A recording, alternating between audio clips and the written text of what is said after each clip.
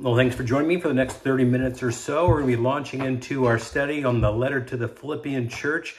If you were able to join us last week or in, in person or whether you're following along on our YouTube channel, welcome. We gave you a bit of a overview of the entire letter, this four chapter, very short letter written by the apostle Paul to a, a place that he really never intended to, to visit and people that he really never intended to meet. And yet, we looked at the content of this uh, incredible short letter that he wrote from a prison cell as he's sitting in Rome back to his people that he had met and people that he had not met yet uh, that have kind of came to Christ after his time as a result of a couple of families coming to place their, their faith and trust in the Lord. Paul writes this letter back. Now, before we launch into that, thank you for your support. Hopefully you've jumped on our website, www.myfaithchurch.org. Um, click that donate button or you can text a contribution to 73256. Take advantage of some of the resources that we've made available for you, whether it's uh, instructions about how to download the YouVersion Bible app or how to create your own personal uh, account of Right Now Media, sort of a Netflix of Bible studies that you can really just kind of feed yourself uh, throughout throughout the week. Well, we're going to jump in. Uh, begin really with the very first chapter, the first eight verses of this incredible, incredible letter that Paul has. So, if you have your Bible, you can pause me. Uh, um, and I want you to grab your scriptures, and I'm just going to read the first eight verses, and this is where we're going to spend our time today as we look at this incredible letter. Before we comment on it, let's just kind of get an overview of these first eight verses that we're going to look at, and then we'll kind of jump back in and make some comments. So, with no further ado, let me read from the scriptures here. This is chapter 1, verse 1. This is how Paul introduces himself and he gets right into sort of a very important topic in this particular letter. Paul and Timothy. Now, we're going to talk more about Timothy later because he's mentioned in detail later on in this letter. But he says, Paul and Timothy, this is how he introduces himself. Bond servants of Jesus Christ. This is a word in the Greek. It's, a, uh, it's this word doulos. It's this uh, means slave. And so he is linking himself in Timothy bondservants of Jesus Christ. To all the saints in Christ Jesus who are in Philippi, with the bishops and the deacons. He's talking about sort of the leadership of the church. They're going to um, give them a bit of a, a, a welcome here. Grace and peace from God our Father and the Lord Jesus Christ. I thank my God upon every remembrance of you always in every prayer of mine, making request for you with all my joy. For your fellowship in the gospel from the first day until now, being confident of this very thing, that he who has begun a good work in you will carry it to completion until the day of Jesus Christ. Just as it is right for me to think this of all of you, because I have you in my heart, inasmuch as both in my chains and in the defense and confirmation of the gospel, you are all partakers with me of grace. For God is my witness, how greatly I long for you with the affection of Christ Jesus. Now, this is the first eight verses that we have here of how Paul really introduces himself and also how he introduces really a topic that he's going to expand on throughout this entire short letter, four chapters, and it's the topic of, of joy. I mentioned last week that the word joy is repeated 16 times in this short letter. And here, right off, right off, the, right out of the gate, we, we have the first reference to this word joy. Now, joy is, is different than happiness, right? Happiness, we know this. Happiness is based on our happenings. I read uh, an article, this was actually way back written in um, 2019. I guess it's not that far back. But there was a survey of Americans and they asked if they were happy. And uh, they didn't define happiness. They just asked, would you consider yourself happy? Well, one third of Americans consider themselves happy, at least presently. So that means that two thirds of, of Americans um, consider themselves unhappy. And, and that makes a lot of sense because happiness is based on what is happening to you, right? Uh, if you're able to look at our Take Five segment from from Friday that went out, I think it went out Friday afternoon or maybe Saturday morning, gives you a bit of a preview of what we're going to be discussing. I had a Happy Meal, right? So what are the contents of a Happy Meal? Well, you open it up and and it's not broccoli, right? It's it's not sardines. I mean, what is in the Happy Meal, hopefully, is going to make you happy, right? We know that life will serve you various circumstances in your life. And if your happiness is based upon what life serves you, it'll be dependent upon the arrangement of whatever is inside that you find acceptable to your current situations. So if you base your happiness on what has served you in terms of your health, if you're in good health, you're, you're going to be happy. If you base your happiness on, on um, whether or not your relationships are going well or how your kids are you are doing or your your financial situation whatever you base your happiness on that arrangement of circumstances you'll be able to say with the one third of americans that you are happy at least for the moment. But we know that happiness will change. You cannot be happy your entire life. You cannot life will not always serve up chicken McNuggets and, and hot fries. Sometimes you're going to get something nasty, you know, in there. So Paul introduces not happiness here in these first eight verses. He introduces something called joy. And he gives us this right out of the bat. He gives us this, what is his joy founded on? It's not founded on life's circumstances arranging and coming together like, like clogs in a, in a, in a mechanism. His joy is founded and grounded on something that this life cannot be taken away. And he alludes to it, and you probably have seen this word as you remember back what I just read, these eight verses, the word gospel. The word gospel is mentioned twice in these eight verses, and joy is connected in Paul's opinion, with the gospel. Now, what is the gospel? Well, the gospel is a collection of two words. It's good speak, good speech. And so it's good news. And what Paul is referring to, and this is sort of our key thought, is that Paul's joy is grounded and founded in what the gospel represents. He actually calls the Philippian believers, he calls them saints. And so Paul is including them that they are saints, they have responded to this good speak, this, this good news. Now, what is this good news? Well, the good news is simply what Jesus has done. There's a problem, and before we can understand the good news, we have to understand the bad news, right? The bad news is this it talks about it in Romans chapter 5. It's, it's all throughout the scripture. The, the bad news is this we have something wrong with us. There's something that is wrong in the human race. It came through Adam. The world is broken. There is a separation between our Creator and between us. There's this restlessness that we have in our lives. There is this inability to bridge that gap that is a result of our own sin sin that's been passed on throughout the generations because we all have a sin nature. But also, it's not just the human race, but we look in the mirror. There is something that we know. There are evil thoughts that we have. There are evil actions that we have all committed. There is something that is bad news. And the bad news is this that in and of ourselves, we are incapable, we are hopeless, and we are helpless. In order for you to grasp the, the good news and respond to the good news, you first have to understand that there is bad news. Another way of putting this is this you cannot understand that you need to be found unless you understand that you are lost. You are a lost cause. There is no hope, there is no help. And so when Paul was able to go to this place called Philippi, and he had a couple people there. One was Lydia, we looked at this last week, and another was not named by name. He's simply referred to as a, a, the Roman jailer.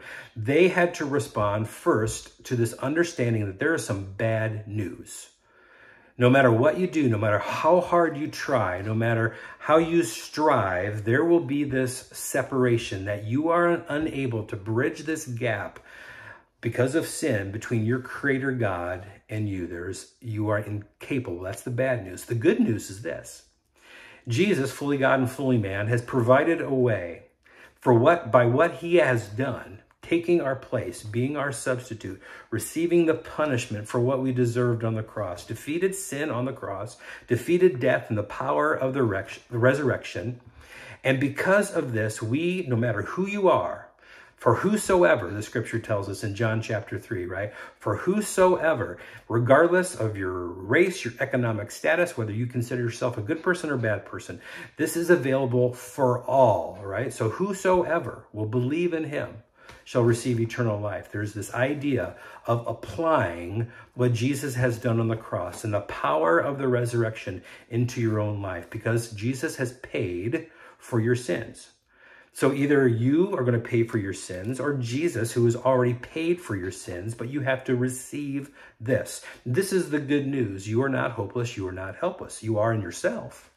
But because of what Jesus has done, when you receive this, when you confess, when you ask for forgiveness, when you admit that you are incapable, that you are a sinner, that you are guilty, you can have, when you confess and when you ask for forgiveness and believe in who Jesus is, this is the good news that you have responded to because you understand that there is bad news. And when that occurs in your life, there is a foundation that is established for your joy that other people do not have. Those who have not responded to the good news, perhaps because they haven't fully grasped and come to the understanding of owning the bad news, there is not this foundation that is available for those who have not placed their faith and trust in Christ to have real joy that life's circumstances cannot take away. They can have happiness, for at least a third of the population, right?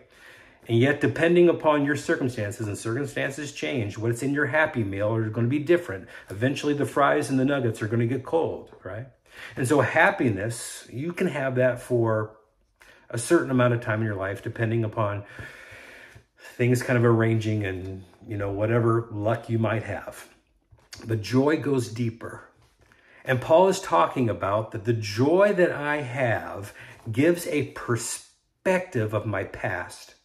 Gives a perspective of my past, gives me a hope for what's going to happen in the future, and gives me the grace, the grace filled joy to endure in the present, whatever I am facing. We're going to walk through how Paul talks about his past, how Paul talks about his hope for his future, and how Paul is able to endure with the grace that God has given him what is occurring in his presence and is in his present because it is all founded on the gospel. That is where his joy is.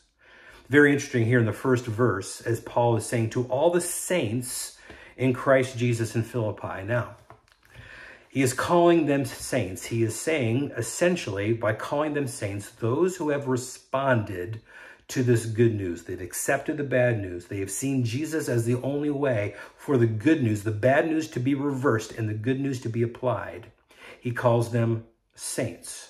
Now, I looked up on the internet what it is required in some people's estimation of what it means to be a saint, right?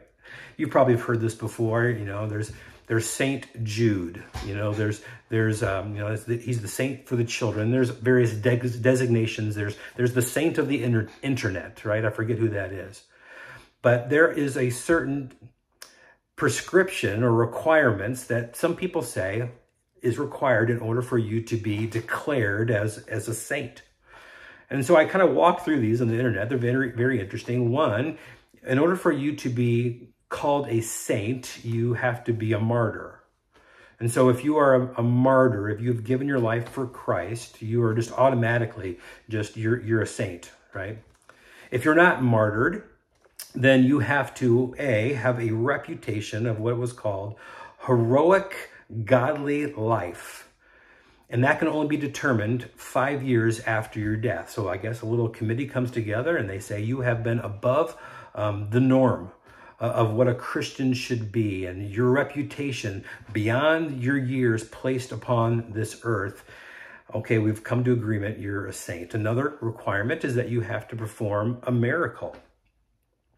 And then in 2017, Pope Francis has added another one. In order for you to be a saint, you can also become a saint if you've given your life for someone else. Now, when I look at all those, here's the requirement of sainthood. You have to die. In order for you to be declared a saint, you have to give your life for someone else. You have to be a martyr. It cannot, you cannot be declared a saint until after your death because sometimes your dirty laundry comes out after you die, right? Um, but the requirement, according to some, for sainthood is that you have to die. Paul's definition of sainthood is, is, is not that. He calls the Philippians saints. And by the way, this is not the only time that Paul calls people that he writes to saints. He called the Romans as he's writing to the Roman believers, he calls them saints. They had belief issues that Paul needed to correct. Paul also called the Corinthian church, the believers there, he called them saints. And they were definitely not, if you've read the letters to the Corinthian church, they did not live very saintly lives. They were involved in all kinds of immorality, so much so that non-believers were looking at them and going, whoa, that they're that's bad. And so it seems like Paul is saying, here's the requirement for sainthood. Have you responded to the good news? That's so encouraging to me. Because even though there are times when Paul would write letters of correction, and if you have a good father, you know, that, that has disciplined you, Paul disciplines his spiritual children this way. He always reminds them of who they are before he brings to light what they've done. And it is always in the context of, you know, the way that you're acting or the way that you're believing, this is not who you are. You're a saint. So, so live like it. If you've ever been disciplined by your by your father in the right way, hopefully your father did not say to you, you are just scum on the earth, you're no child of mine, blah, blah, blah. They correct you in the idea of, of, of this. You know, the way that you acted, or that choice that you made, that's not who you are. That, that's not how a son or a daughter of mine acts. Reminds you of corrective belief or behavior in the context of who has made you, right? And so Paul is talking to the saints here, and then he gives them this idea of his joy, just as their sainthood is founded and grounded in the gospel. Also, their joy, as Paul's joy is, is founded and grounded in the gospel. And when that occurs, life's circumstances cannot take your joy away. Now, as you can kind of remember as we walked through this passage, not walk through, as we just read this passage a few moments ago, maybe you picked up a little bit of this, how Paul's joy is extended to his past, to his future, what hasn't happened yet, and then also to his present situation. So let's walk through that here just briefly. Paul's joy, not only is it grounded and founded in the gospel, but also Paul's joy allowed him to have a thankfulness for his past. Verse, verse 4 picks this up and he says, I thank my God upon every remembrance of you. So he's reflecting back on his time in Philippi. Always in every prayer of mine, making request for you with all my joy. Verse 5 For your fellowship in the gospel, the good news, is what we shared together from the first day when we first met until now. So Paul is reflecting upon his past through the lens of the gospel and there's nothing but joy. Now, if you were able to be with us last week, either in person or through YouTube, Paul's time spent in Philippi, we would probably call not real good. Never intended to go there. He didn't want to go there. When he went there, he was trying to find someone that he never met. He was harassed by a demon possessed woman, mocking them as they're trying to preach the gospel. Eventually, Paul deals with that situation, and as a result, they're thrown into prison, into jail, where they were, before that happened, they were severely beaten within an inch, you know, of their life. They're treated horribly. They're disrespected.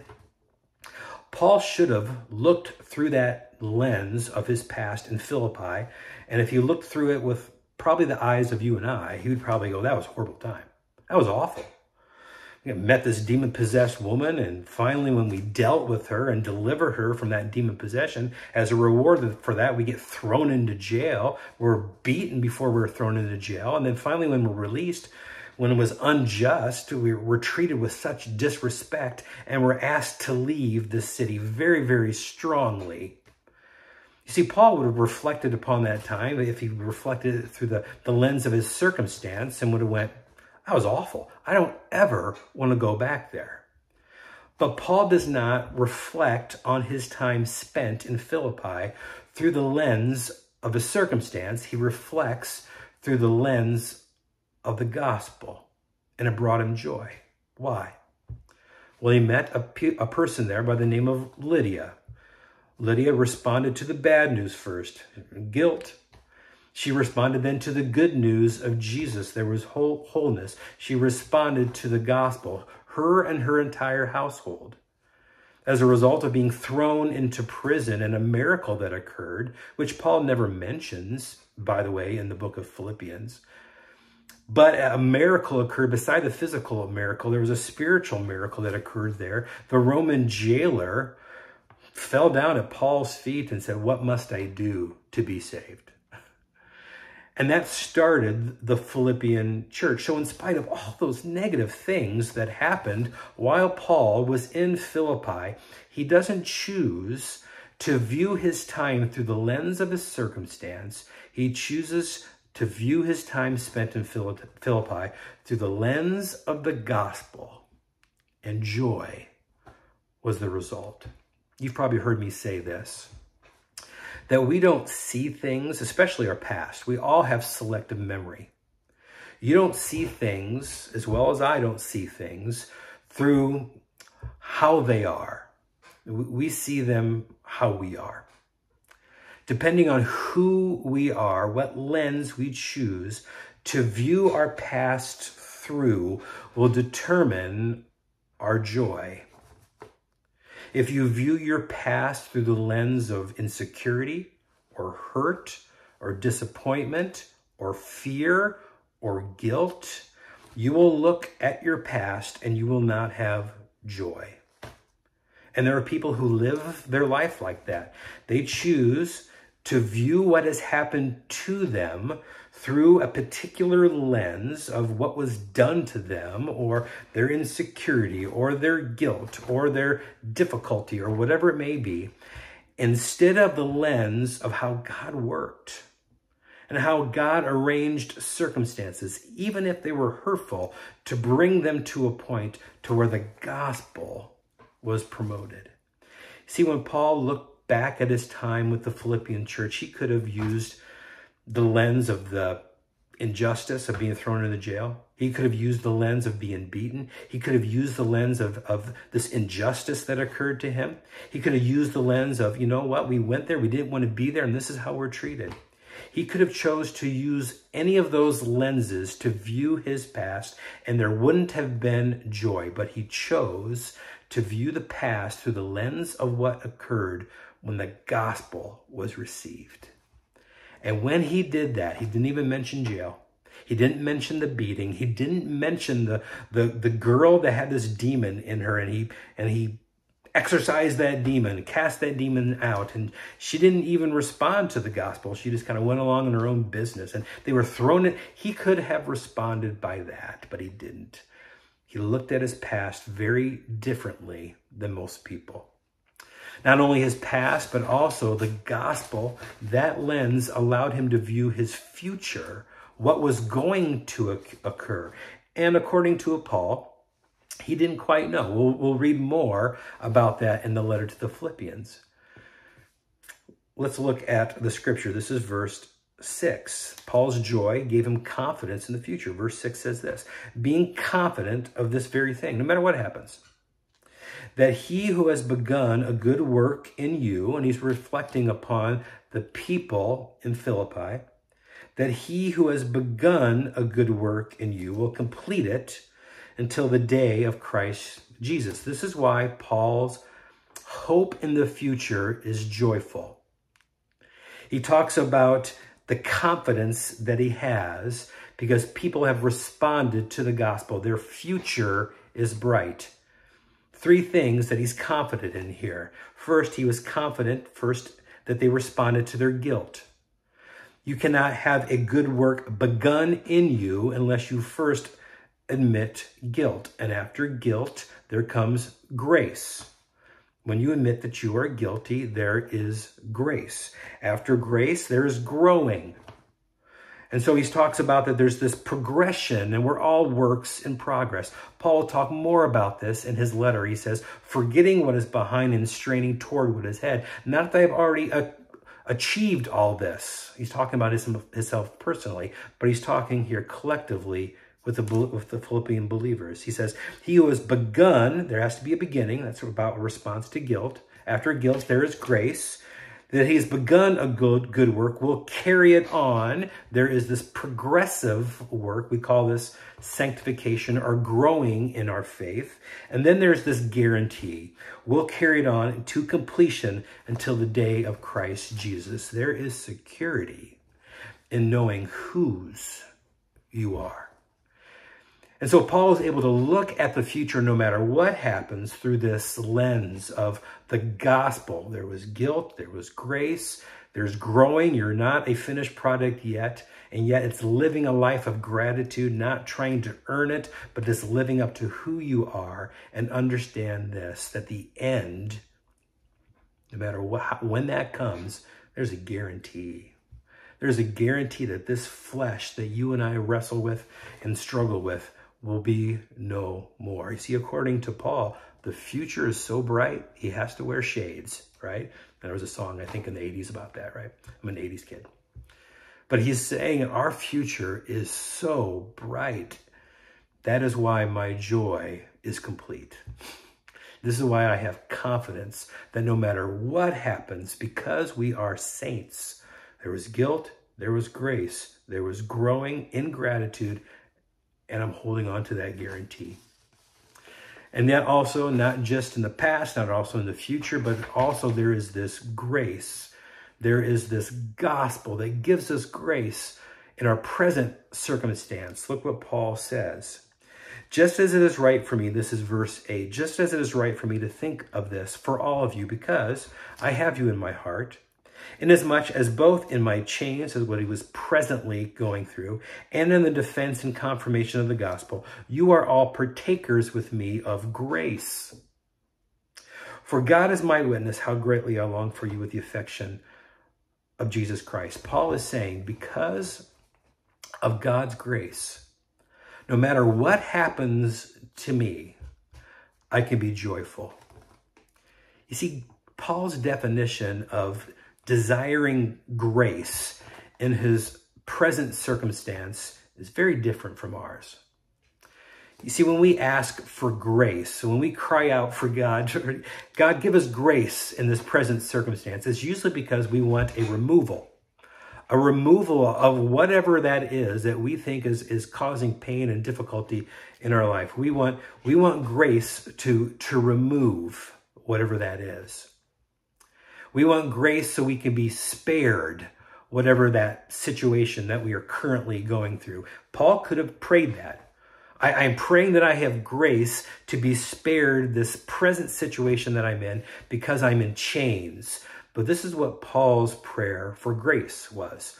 I pray that I have grace, not so much to be spared, but grace that no matter whether I'm in chains or not in chains, that I will have grace to share. Not spared, but share. And what's he sharing? The good news. As Paul is looking at his present situation, he is praying, and he's praying as well for his spiritual children here, the believers in Philippi, and they're in a difficult spot too. It was not all rainbows and candy living in, in Philippi.